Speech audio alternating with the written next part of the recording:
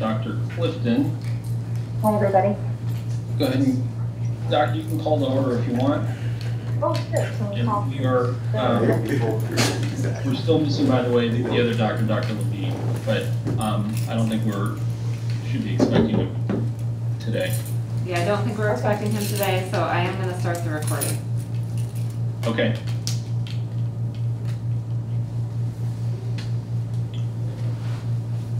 Um, hi, everybody. Uh, we'll call the meeting to order. Can, I think someone has to second that. Is that right? No, just Or go not? ahead. Oh, okay. We have to approve the minutes and somebody has to second that. Right. And Okay. Meg, Meg, uh, Delia, she, she didn't receive those, so I think we're just sending those to her. Yep, I just got them from Jim, thanks. I'm sorry about that, Meg. No worries. I probably have an email in my inbox from a different bank that says, why are these on my desk? I don't uh, recognize the folks in the, uh, in the, in the Vermont office, or what I presume to be the Vermont office. Sure. Well, why, why don't we take roll first, and then uh, Brynn will be able to tell you who- who's in that room. Okay.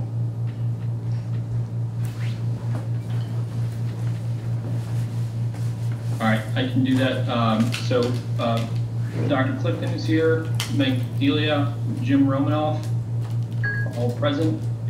And we also have Brynn uh, Hare, and it looks like uh, Chairman James Pepper. And then Brynn, could you tell us who else is in the, in the room? Sure, we have four members of the public, and we also have Melissa Anderson from DPS.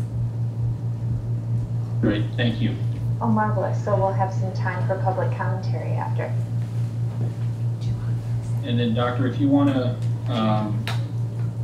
if you want to get approval for the minutes, Oh, sure. Can I get a week approval anyway. for the minutes? Liz will be here in a uh, From someone? and I think Meg still reviewed, I'll, I'll make a motion to approve, I I reviewed them. Jim, I don't know if you've had a chance or had any comments on them?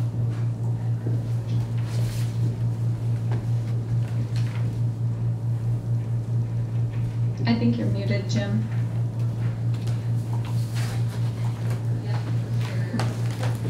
Am I allowed to second? I'll second it. Oh, Second. okay, good. Okay, those are approved. Do you want to proceed with the agenda, Dr. Clifton?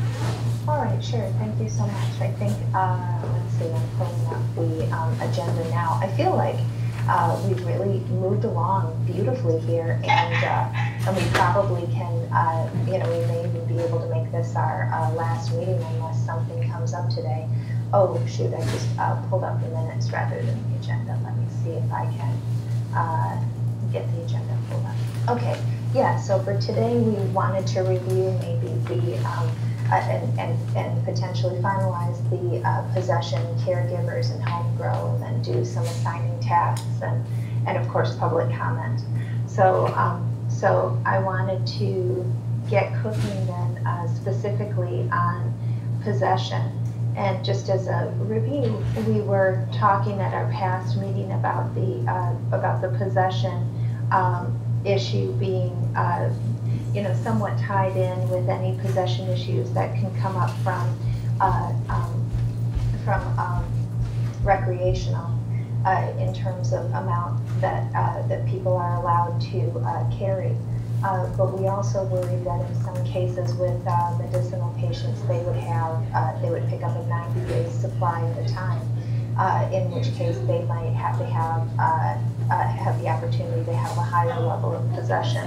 And then we also, of course, have to make room for medicinal patients who are using concentrates like RSOs or DABs or something.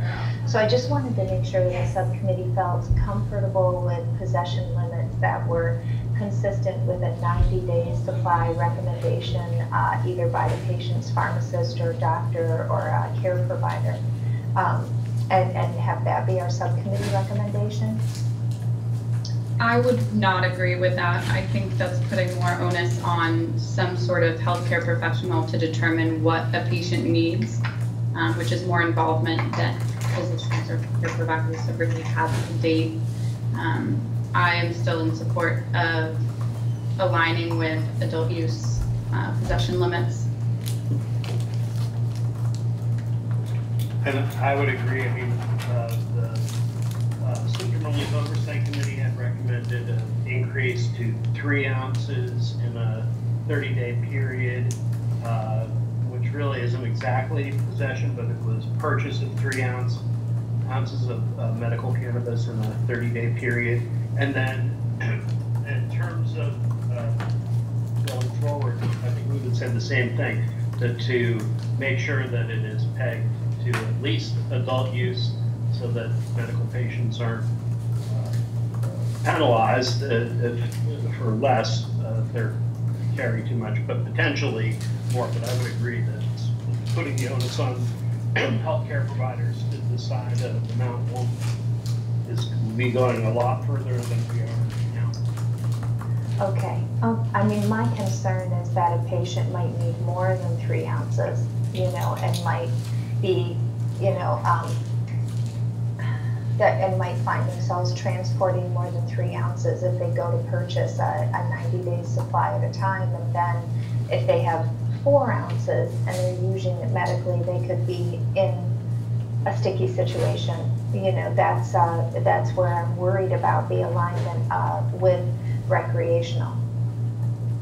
I mean, um, Jim, what do you think about that? Or Megan, what do you think about that? I just, I'm not sure how many patient, how many ounces the average patient is using, and if we're only at three ounces, are we covering for patients who are using concentrates at higher amounts, or like seizure patients, people that are using larger amounts? The, the current law is, has it at two ounces per thirty day period, and concentrates are considered at their actual weight after manufacturing as that amount of medical cannabis. So if it's one gram of concentrate, it's only one gram of medical cannabis. So that's really not an issue under the current laws. And we had proposed an increase to three ounces, which the, the prevailing opinion was that would cover, for the most part, uh, most patients. Will it cover all? I, I, I'm sure somebody will not be covered and be left out, but I think the risk to, you know, uh, having a situation where medical providers would be pushed way beyond where they're at now, uh, balanced with an increase to three ounce would be good, maybe not perfect, but better than uh, putting it all in the hands of the medical providers. Oh, no, I was, I was thinking about maybe some verbiage, would it make sense to have verbiage of three ounces or uh, an amount that a medical, or or that, that could be overridden by a medical provider or a treating pharmacist if, you know, the patient required higher amounts. So currently pharmacists are not um, involved in the program at all in that sense. Um, so I think we can kind of just do away with that component. As far as a healthcare provider maybe signing a waiver saying a patient needs more, um, I think it's hard to really form an opinion based on that when we don't know what the adult use possession limits will look like. You know, are, are people going to be able to walk into an adult use dispensary and purchase an ounce at a time uh, as frequently as they would like? Or um, is that going to be limited to maybe three times a month, whatever it may be? Because we don't know that, I think it's difficult to say, okay, we want to align with the adult use possession limits, but here's a workaround for people who need more. Um, since we don't know what those limits are, I think three ounces uh, could be a good minimum. You know, patients are allowed at, least that, and then if adult use allows for more, um, then looking to those adult use recommendations. But um, ultimately, I think providers are not as involved um, with the actual purchasing process as much as they are just verifying. Okay, okay. I just don't want to put any Vermont patient in a position where they're, you know, transporting some product and they're getting in trouble, you know, getting pulled over and getting in trouble because they have a little bit more than they should have, especially for people who are high consumers. So I'm just trying to think of a way to make that as safe as possible for those medical, uh, for those medical, uh, patients. Okay. All right, then we can uh, make a recommendation of three ounces uh, uh, as a, as a, as a uh, possession. But then in the home, we talked about really no limits on the amount of possession in the home. Uh, But, but in terms of transporting back and forth, a limit of three ounces. And then I think the only other things, you guys, that we had thought about was caregivers. We were worried about how many people a care, a caregiver should be um, allowed to see uh, as, as a caregiver, and different states have different recommendations. They are varying anywhere from one to fifteen. I feel like following in Vermont's, you know, um, sort of the way that I perceive the state of Vermont as being, you know, small farms and small businesses and uh, and, and neighbors helping neighbors. I, I, I, think that a larger number of, of people per caregiver would probably be valuable and consistent with state goals and ideals. Um, I, what does everybody else think?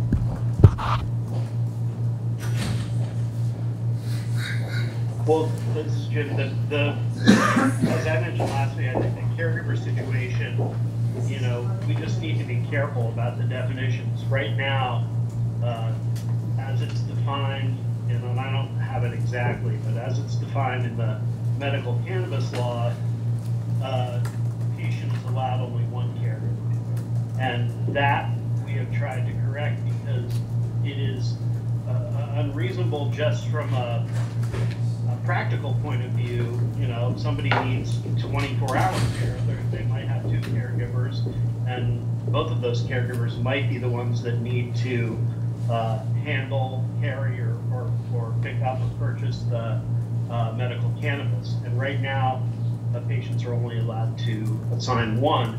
But the issue in other states, and, and I'm afraid here, is often a little mixed up because the term caregiver is also used to apply to growers who are growing for patients. So I don't think that's necessarily a bad idea. Growers, small growers growing for a patient, but calling them caregivers and including it under those, you know, uh, laws just seems confusing and silly. So, you know, going forward, the recommendation from uh, the oversight committee had been to increase the number of caregivers uh, for patients uh, because practically speaking, it was necessary, medically speaking, it might be. Uh, But also, definition to be, uh, it- it has been under some debate, but, but having it include growers would probably not, not be the direction. I would agree. I think when you start going down that path where you have one person growing for a number of medical patients, it um, then introduces, okay, well, at what point should we be getting some lab testing done? Um, where are there kind of these safety elements that we have um, required at the dispensaries that if uh, a small grower is growing for multiple patients, you know, why aren't they subject to that? Um, and so I would agree that the definition does need to be reviewed um, and that, that it should be made clear kind of that separation as Jim was alluding to. Yeah, yeah. And, and I definitely am not saying that, that small growers should definitely not be growing for patients. I, I agree with Nick, there's all issues of testing what standards things are gonna be done to, but it's really just a matter of separating the language, so it's not confusing. Uh, you know, a, a, a grower would be a grower, caregivers are taking care of somebody medically speaking and might handle their, their marijuana and need to, so it might need to be more than one. Okay, so a grower might be somebody who is doing a, a, I mean, we would just define them as a small private grower, and then a caregiver would be somebody more of like a coach that would help to to assist. Uh, You know, that, that's what I believe the, the definition, the, the medical practitioners on our oversight committee, you know, have expressed their desire for caretakers, you know, to be defined in that, you know, more medically, uh, and healthcare accepted way. Uh, Taking care of medical healthcare needs as an aide or a nurse might do. And administering or carrying the medication might be necessary. More than one caregiver might be necessary for the patient. But the idea, you know, the Maine law keeps getting brought up, people are enthusiastic about it, and I would just say, you know, suggest addressing it and labeling it in a different way. And under, you know, licensing for growers, can a grower grow for one, one uh, medical patient? Uh, but not confuse it with the idea of a caregiver. Someone So- could end up, you know, without somebody to uh, take care of it in other ways. So really, there's no reason to limit caregivers at all. I mean, if somebody wants to be a caregiver, why couldn't they take care of fifteen people a day? I, you know, I, I, for me to determine. I'm not a professional uh, in the area of, of caregivers, but I think the question really is whether each caregiver, you know, is a person who can grow for a patient. And I know that's an issue that people are eager to address, perhaps through the term caregiver, uh, because individuals can grow at home, so a caregiver should be able to do it at home for a patient as well. But maybe they've become a grower and it's a different thing. Yeah, so I mean, in where we- Vermont, do we want to differentiate caregivers from growers and then talk more about home grow and, and, uh, and do we want to do that, or do we want to talk about caregivers as small growers? I'm sorry to have interrupted you, Megan. No, I'll let Jim answer and then we'll go ahead.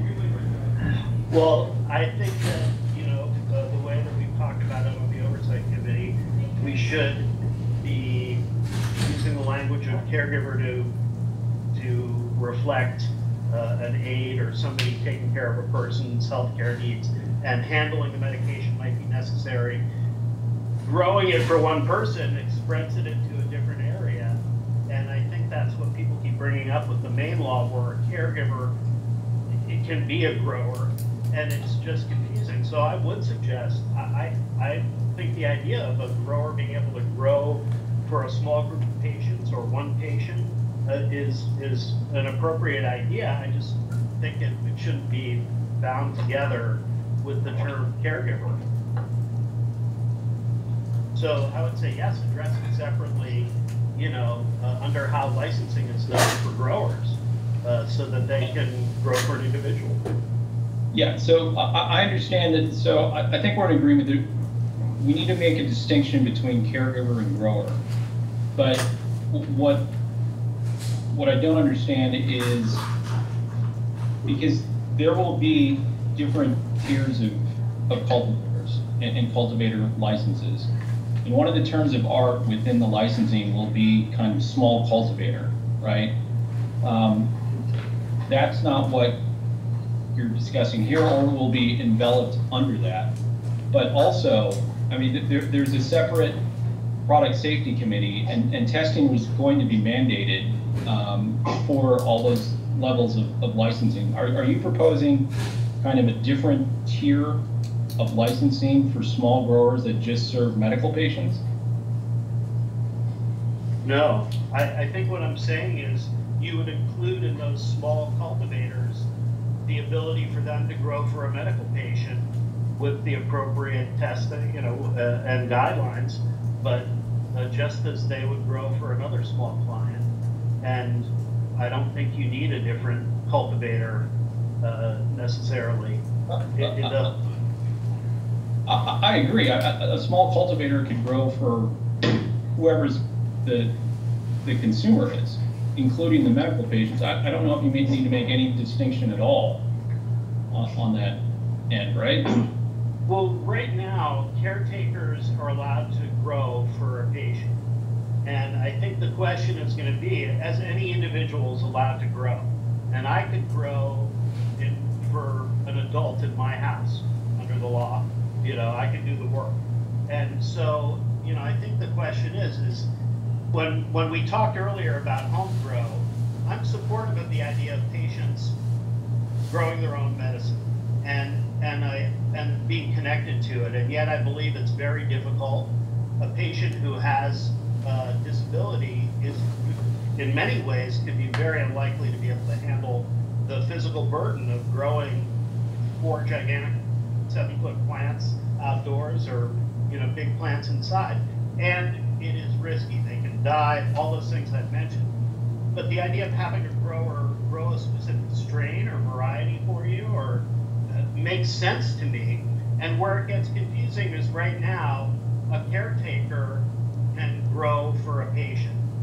And there's a question of the language of a patient only being able to have one caretaker. And if it were a medical caretaker and a healthcare caretaker, not a grower, you would not say that about somebody you wanted to take care of. You would say they might need two hair, you know, depending on their, their needs, they might need round the clock caretakers. So I'm saying split it apart and, and a, a patient can specify another person to grow for them, hopefully a, a cultivator. Or an adult who's got the, you know, isn't already growing for themselves and has the legal right to grow. My, Is my that clear?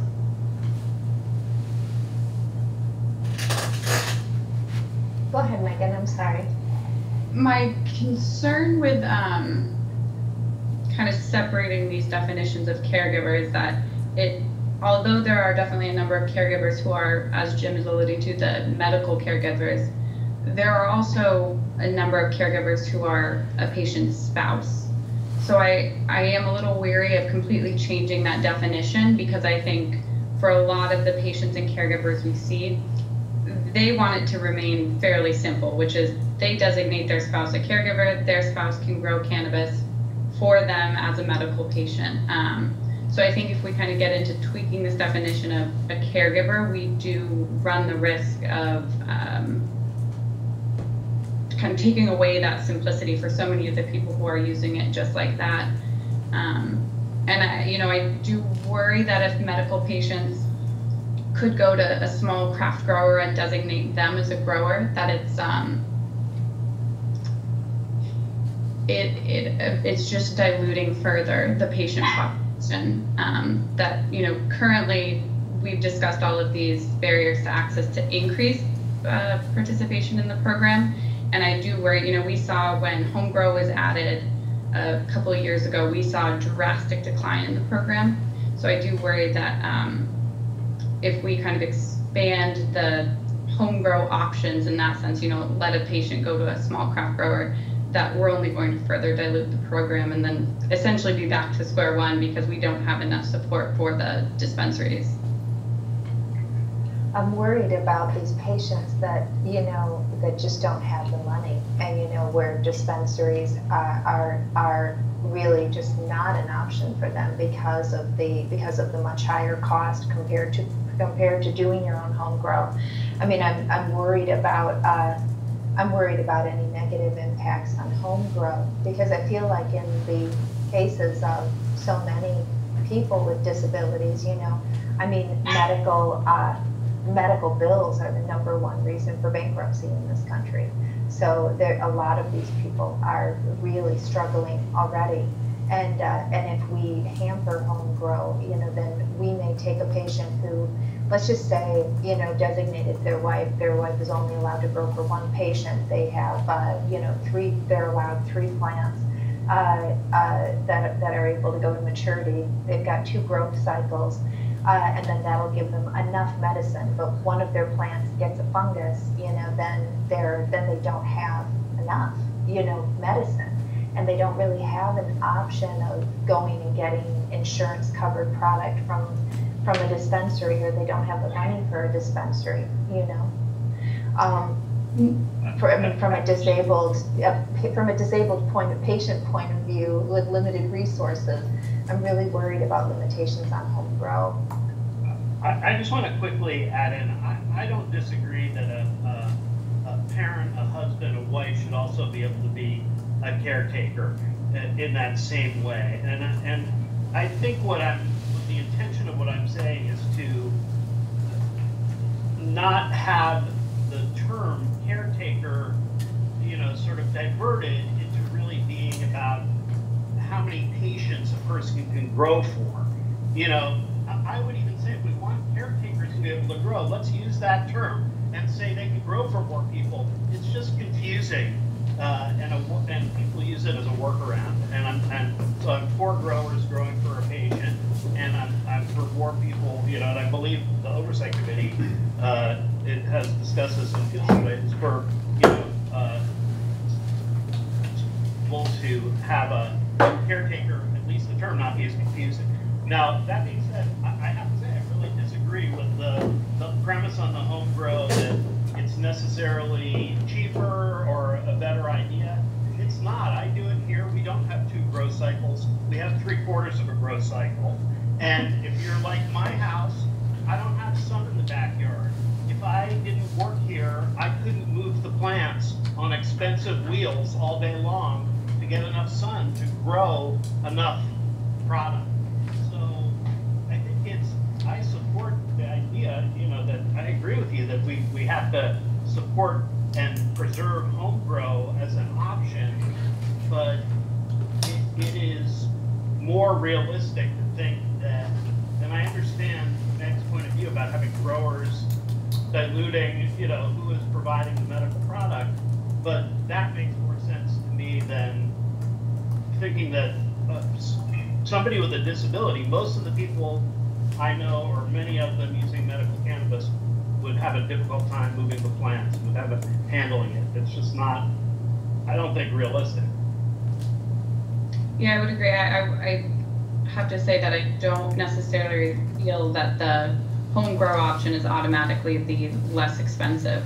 I also think if you want prices at the dispensaries to decrease, they, you know, there just simply needs to be more participation in the program. And I think it's the dispensary's hope that when adult use rolls out and they can purchase from small craft growers, they'll have a broader selection of products um, as well as lower prices because they are um, you know, they are given that opportunity to also uh, participate in adult use. Yeah, I, I, correct me if I'm wrong, I mean, some of this is academic, right? We're not, no one's saying take away or reduce the home grow option. No That's, is. that's already there, so I, I don't think we need That to. there. Yeah, I don't think we can deal with that. What, what, just to bring this back to focus, what, what we need to take care of is the fact that it can't be one-on-one for caretakers. And, and we can eliminate that as, as the recommendation, correct? I guess I, I would be curious to hear your thoughts on why it can't remain a one-on-one. Well, I, I think, I think Jim expressed those. Uh, I'll, I'll, I'll try and summarize it unless Jim, you want to, Well, I'm not sure that I'm, you know, I, I- I'm not saying it can't be one-on-one. I- I- What I'm, Right. Concerned about is the push to move in a direction, as many great ideas as there are in Maine, the idea of a grower collective bargaining with a, a group of patients doesn't seem like the way the Vermont medical cannabis program has worked and doesn't contain the kind of controls uh, that we would look for, I, I don't think. So that's what I'm trying to avoid. The, the term caregiver, you know, being confused with uh, lots of growers. And there's a, a push to have multiple caregivers because you might need more than one person besides growing cannabis to take care of a, of a patient for anything. And so, you know, we just need to clean up that term.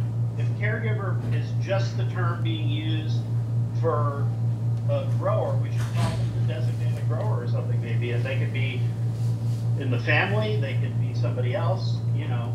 And then I think the question of the reverse, of caregivers all of a sudden being people who can grow for five people, it, you know, isn't a definition under the medical program, but it's a cultivator definition. And I wonder if there's an economy of scale if we make, if we have a concept that a caregiver can be a caregiver to 15 people and they're good at growing uh, cannabis, then they could have a home grow that could potentially aid in the support of, you know, 15 people rather than just uh, one person. You know, is there, is there, that's where I'm trying to, that's where I'm trying to get to the same place, Jim.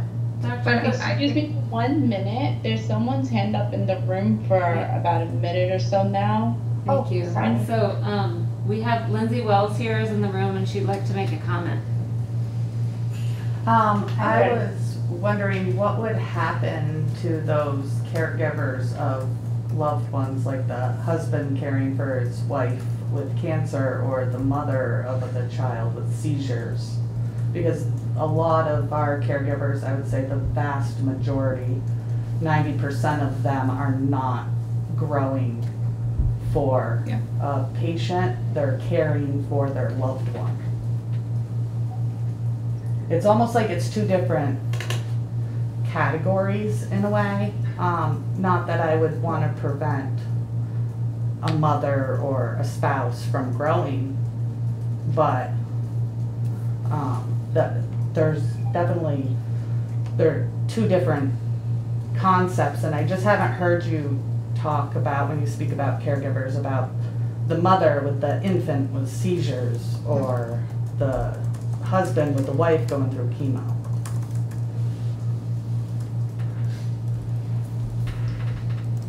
Yeah, I would agree with Lindsay here that the majority of these caregivers are just as she described. And so, you know, this notion that maybe one person could grow for 15, I think that's exactly what Jim was saying. We don't want to go towards. That sounds a lot like the Maine model. And we've both stated that we do not agree with that model for Vermont at current. Um, unless, Jim, I don't know if I. I, I am agree, I agree with what you're saying, Meg. And I agree and, and want to confirm, I agree with what Lindsay's saying.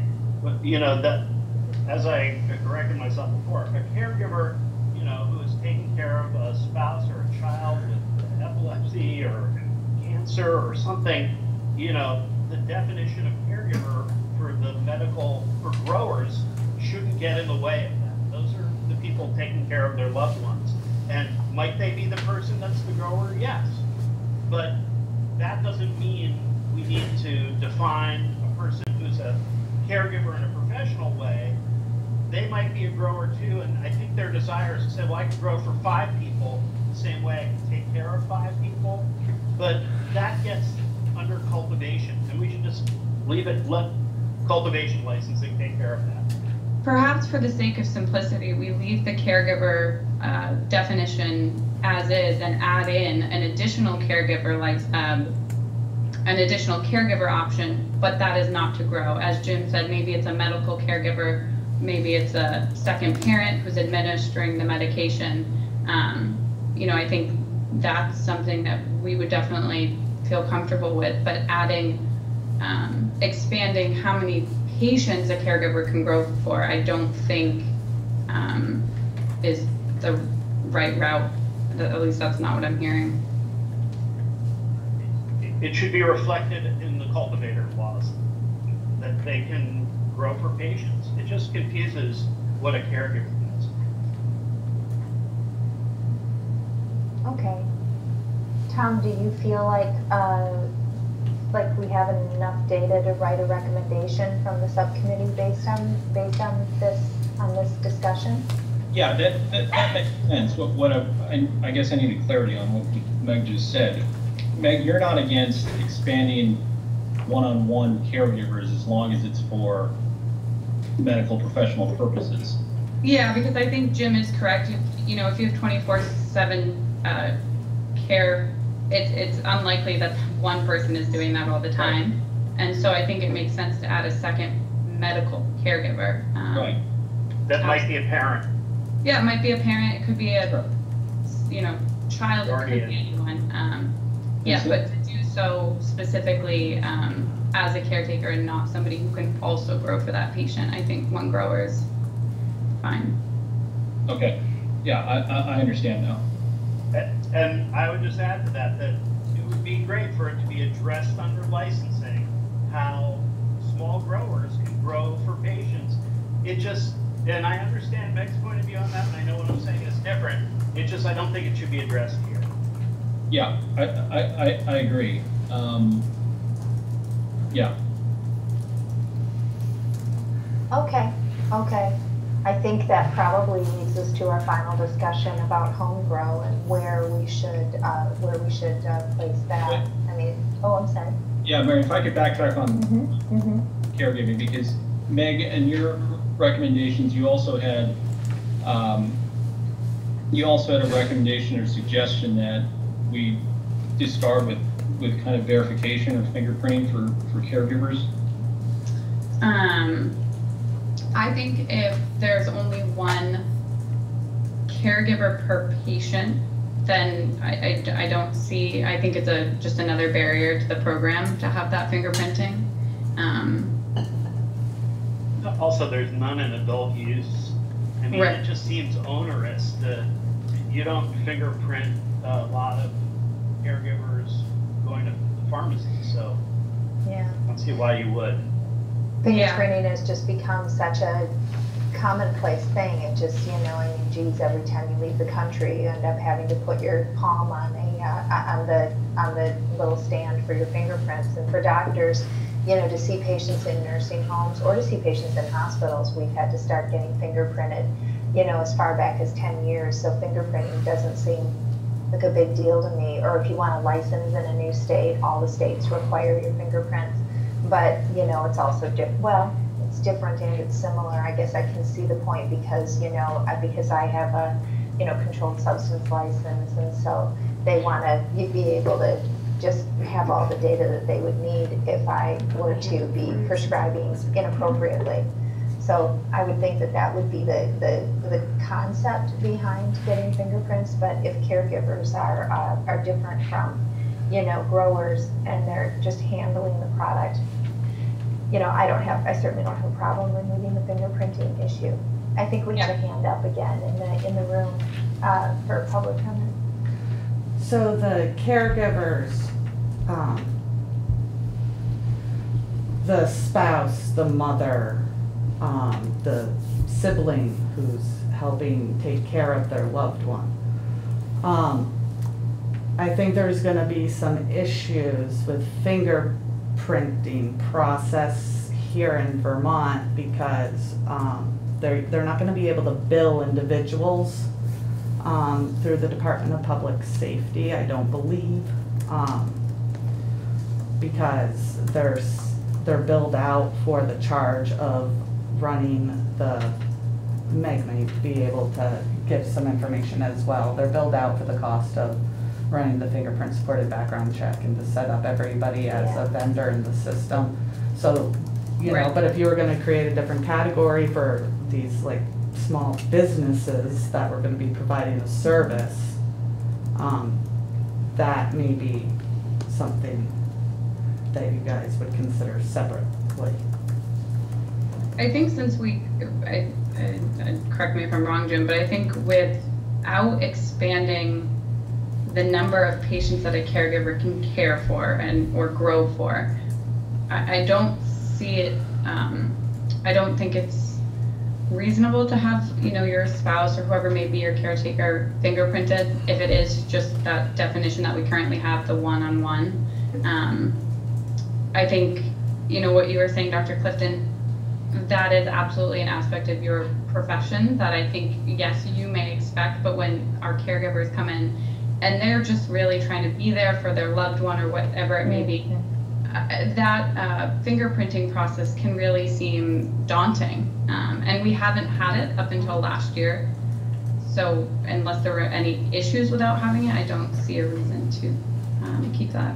I think it would be a great thing to remove. I mean, in addition to just the hassle and the fear and all of the negative stuff associated with getting fingerprinted, it's just harder and harder to get. I mean, you used to be able to get them at the UPS stores, and now a lot of them have stopped doing that. You have to go to the, you know, to the police station, and then the right police officer has to be available. So I'm with you guys. That's uh, if we can avoid fingerprinting for caregivers, that would be marvelous. I think. Okay. All right, any other comment, anything else? I don't want to move us along too quickly. Okay, how about, um, how about home grow? Uh, if, people have had some time to think about, you know, uh, uh, what kind of, uh, restrictions we would like to place on home grow? I would say the, the oversight committee had recommended an increased number of plants, and that's, that's where we stand for home grow. No, no restriction, just increase. Uh, if somebody's gonna do it, they definitely need to be able to have more plants to ensure success. So, um, you know, I mean, it varies across the country. I pulled up that sheet that I created last week, but that was more on possession rather than on, rather than on home grow. But, um, I, I, I mean, anywhere from, uh, you know, three flowering and three immature to, you know, uh, six flowering, 12 immature and unlimited seedlings. Um, and I would lean in that direction again, uh, Jim, because of what you said. You've got a three quarter, three quarters of one season in Vermont. Coming from Michigan, I understand you have to be like some kind of wizard to be able to have a successful um, garden. And does that seem reasonable for us in Vermont for, for home grows? Uh, You know, I'm sure there are people also growing uh, hydroponically and they're doing it indoors. I, I don't, I don't know the exact split in the numbers. I can't imagine it's a majority of people doing it. But uh, increasing the number of plants, I think the risk is, is low. If, you know, if the intention of limitation of plants is to a, limit the amount that an individual is possessing, whether they're a medical patient or not. You know, as Chairman Pepper pointed out last week, there's no specific uh, limitation of what you have in your home and in your house. But I would argue if there's a medical patient who's going to process uh, eight or 12 plants after they harvest, I, I, I, you know, it's a, that's a lot of work. and just doing three or four plants is a lot of work. So, you know, increasing the number of plants, it, I would say it's got to be right now. It should be doubled from where it is, and, and it could be up to twelve. But I don't, I don't see even, you know, a, Meg, I, I can't imagine it's really gonna for one patient. It's going to influence that much what their spending is to be because there's a unless you're running a professional operation, which is what they're not doing, there's just a, a limit. You can't, it's, it's just not that easy. And you're not ending up with They're finicky plants. ounces. They're Yeah. finicky plants. Well, and then you process it, and if you're making it into an oil or a tincture, all a lot of work. So more of the plant, the better to ensure that you end up with something, and, you know, uh, the numbers you recommended again, uh, Mary, Um, or? Uh, uh, we're six, uh, mature, twelve immature, and unlimited seedlings. I- And that would, you know, I mean, for somebody who likes to grow, I mean, I don't grow any of my own food, I don't can or any of that, but I mean, I love to cook, but I certainly am not a grower. But, uh, but for people, you know, for my cousins who love to grow, they have massive gardens. So I'm thinking that supporting those who do grow, you know, uh, so that they don't get in again into some sort of restriction or some sort of issue with, uh, with legal, you know, that that would, that, that offering just a very, uh, reasonable and generous, uh, uh, um, number of plants makes more sense than, uh, than heavy duty restrictions. That would, okay. Yeah, Guys, correct me if I'm wrong, but what, what I didn't see in the adult use legislation was discussion of home grow. So, I mean, it's interesting it's not in there, that there's no kind of guidance. Well, it's, it's there already.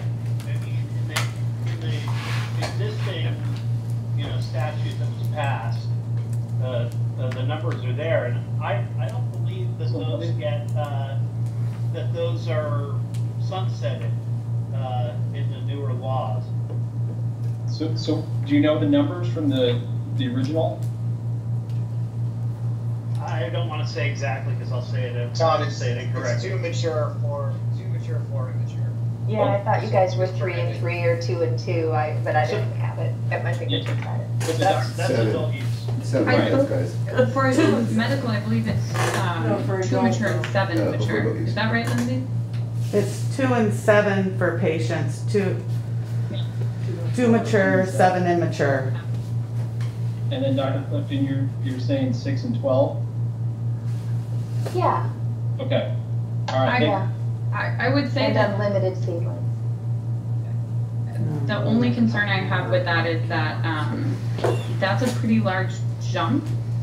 And so I'm not sure, um, you know, where we could go to get this information, but I don't know how comfortable the legislature would be with such an increase.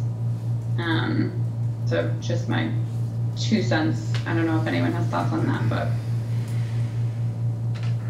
Doctor, are your numbers based on other states? Yeah, I was basing it on uh, Maine.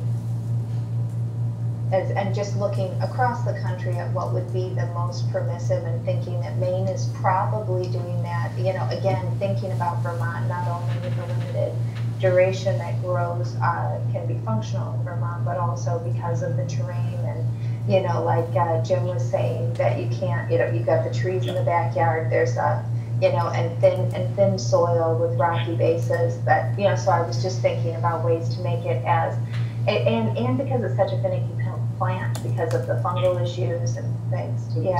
so We'll, we'll get more numbers and able to, to be able to Sure. that from, from Connecticut and some, some other states as well. great. Thank you. And then, Doctor, I'm not sure what, I, I had two other things that were contained within Meg's, uh, list. And they're both more compliance issues, but, um, I, I think Meg, you were, you were talking about the buffer zones and doing away with that. That- That's more in another subcommittee, but that's, that's more of a safety. geographic location. Yeah, Yeah. Um, so right now we have a 1,000 foot right, buffer zone, as we're uh, calling it, and that is measured as the crow flies. So um, there have been concerns raised by patients in the past that that really um, affects the access because it's very unlikely that we're going to be uh, having medical dispensaries in like a city downtown where there are absolutely going to be schools nearby or places where children congregate. Um, and so my recommendation was that we just reevaluate that distance, maybe reduce it to 500 feet and clarify that it's uh, walking versus as the crow flies. yeah. And, and, and certainly, I don't think there's any debate that the, the method of measurement needs to be clarified. Um, And then, you know, you, you can talk about the, the difference between 500 and 1,000. I'll, I'll just tell you also that in the market structure committee, there's, there's discussion of a potential license of limited sale with existing businesses, and that's gonna, you know, obviously it's gonna present some challenges with whatever buffer zone as well. So that, that's gonna be developed, continue to be developed by other committees. Um, the other concern you brought up was the limitation on how many can be served Yes. in retail currently, which is three, which, again, I, I imagine that's going to be modified um, through adult use, and then we can peg it to whatever the adult use. Great. uh, My one other question um, was that it was my understanding that the uh, oversight, the future medical oversight committee advisory panel um, was to be addressed, and I'm not sure if, if that's Yeah. on the agenda. But I, I you was, know, I was gonna bring that up as well. I mean, we, we are on a timeline Right, of, uh, of this cannabis control board having a, a November deadline to notify the legislature. Uh, the, the oversight committee's goal has been, uh, by the beginning of October to, uh, deliver the recommendation to the cannabis control board, and I would understand that it would go through this committee. Um, we are, we're far along. We are meeting again, uh, next Wednesday and we'll have a public comment period after that.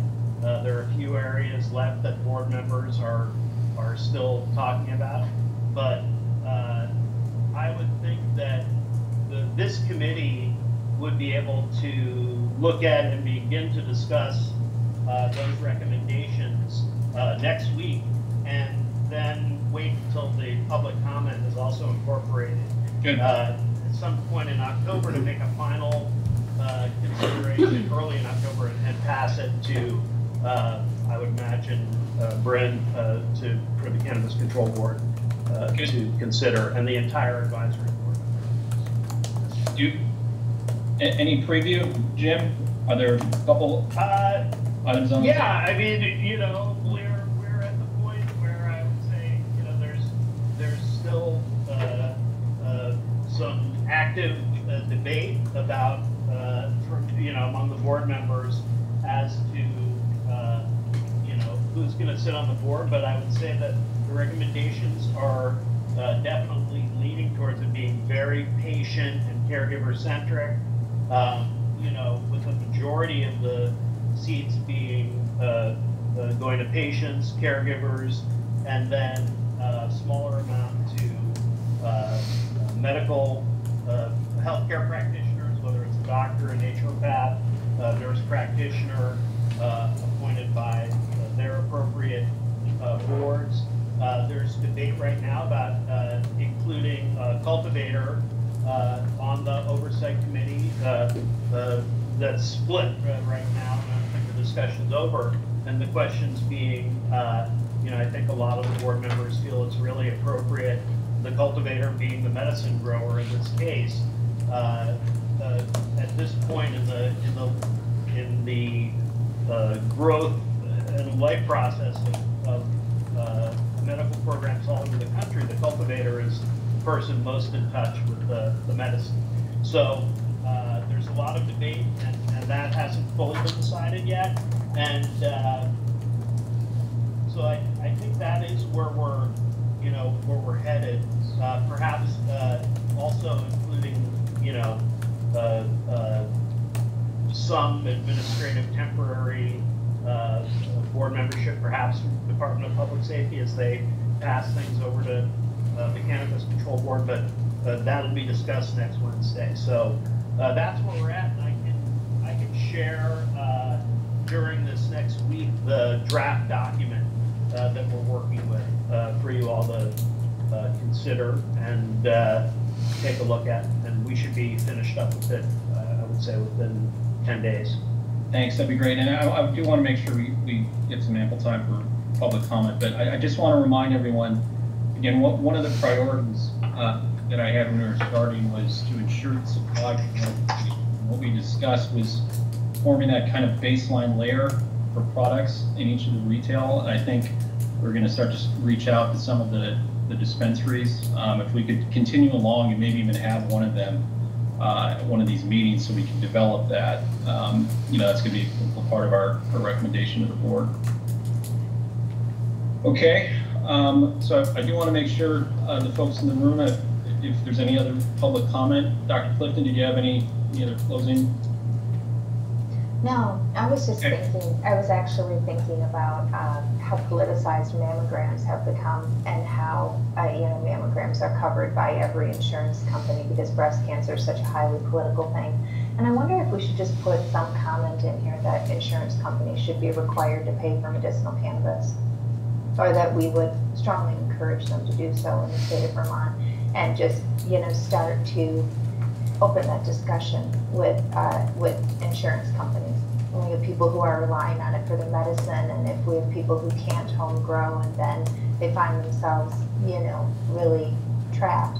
Um, I think that would be really great wording to put in here somehow. Or, or in a separate memo, but yeah, that, that's something we can definitely discuss next, next meeting. Um, is, does anyone have public comments? Yep, we do have a couple of people who'd like to give a public comment. Thank you.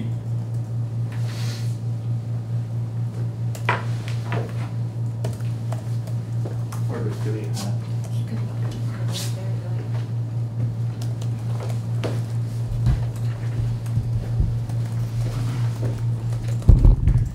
All right, thanks for hearing me. Um, you know, all I hear from Meg is what's best for her profit dispensary. I, I hear very little talk about what is best for the patients. I hear this criticism of the Maine program, uh, but in the meantime, I, I wonder how are Maine patients being cared for? I'm gonna guess pretty well. Um, and if a caregiver means uh, switching the definition of a caregiver to a parent or guardian, uh, so what does that mean for the, the patient? There, it feels like it's all being, so the patient is forced to go to the dispensary to get their product, and that's just not what's best for the patients. Um, also, this, the Marijuana for Symptom Relief Oversight Committee, um, that Jim is the chair of, I, uh, I've been sitting on- those meetings, uh, for quite some time. And it seems that they want to change the uh, definition, um, especially uh, Amy Klingler and, and Dr. Joe, seem to really want to change the definition of what a caregiver means to a parent or guardian because uh, by the law, by the way the law is written, there has to be a certain amount of seats dedicated to uh, caregivers. So seems convenient. Let's change the definition of caregiver, and now uh, then now now now growers don't get a seat. You know, it's just like it happens just like that. Um, and the point is not, you know, the point of this whole medical program is to give the patients the best care possible. But all it feels like is, is the point is just to prop up Meg's dispensary. Um, it- it's the, the point is to give uh, the patients the highest quality product. That's that's the whole point of this. And uh, and growers have been here uh, all along, growing this uh, in, many cases amazing product for uh, for their patients. And uh, you know, I bet if you if you were to actually talk to many patients, you would see all the time that, that they love the relationship with their personal grower because a dispensary is going to sell flower that is best for their bottom line, not what's best for the patient. Just bottom line. Uh, so uh, that, that's kind of all, all I'm, I'm going to say right now about that. Um, but um, you know, it, but just my main point that that uh, that growers need to have a seat here. They're the ones who know about the plant. Um, there, there's on all these boards I sit in, it's amazing how little knowledge there is about the actual plant itself and what it's like to grow it. Uh, I, I think for that reason alone, you need to have a, a grower uh, on these on these boards. You know, um, and so, but just to move on to a, a whole different subject, um, there's also a crippling vape tax uh, in the state of Vermont. It's uh, 92% vape tax. It started off uh, as the intentions were great. The intentions were to uh, stop the problem with juul nicotine products in high schools. And I think everybody can agree that it's an awful problem and it needs to be solved. But what the legislature did is use language that was so broad that it affects uh, every single thing, every single product that has the word vape in it. And so there's literally products that are arguably the best, the healthiest way to consume cannabis, and the, the, many of these companies won't even sell to Vermont anymore. Uh, the 92% tax essentially just killed the whole the whole program. Um, and it, and you know, so again, just bringing it back to patients because that's what the medical program is about. I think we can all agree with that. I think it needs to come back to that and uh, and and and uh, and make that the point, not just insulating the current dispensary and its profits from uh, from a more expansive medical program. Thank you. Do you mind identifying yourself? Sorry, um, I'm, uh, my name's Adam Gross. Everyone calls me Tito. Thank you. Thank you, Adam. Thank you, Adam, for that input. Thank you. I, I agree that especially in this subcommittee, we have to stay super patient focused. Thank you. Thanks. Brynn, we had uh, another public comment? Yep. This guy. All right. Hello, everybody. Uh, I'm Jeffrey Piscitello, uh, Vermont Growers Association, um, Vermont Cannabis Equity Coalition. Um, I'm also a state registered uh, caregiver in our Vermont marijuana registry. I have been since the first year it's been operational, uh, 2006, 2007. Um, Thank you uh, for this conversation. Uh, uh, I'm heartened to hear you guys address um, home grow uh, and also um, possession limits. I want to actually just stop for a moment and just bring up two points of clarity. Um, so our organization tracks some of the national trends across the uh, in each state, um, and I just want to say that uh, the average uh, national average for uh, home grow, the plant count, is 6.5 to 7. So that's the average nationally across all of the states. We've been fixed at two mature plants for about two decades now. Uh, so just some context to keep you guys aware of that. Also, a second point of clarity before I move on to my comment. Um, caregiver allowances, uh, heartened to hear you guys talk about that. That's something that we support. I appreciate you guys getting ahead of that. Uh, the caregiver allowances that was stated uh, have been identified as 1 through 15. That's not true. There are a couple states that have unlimited caregiver allowances.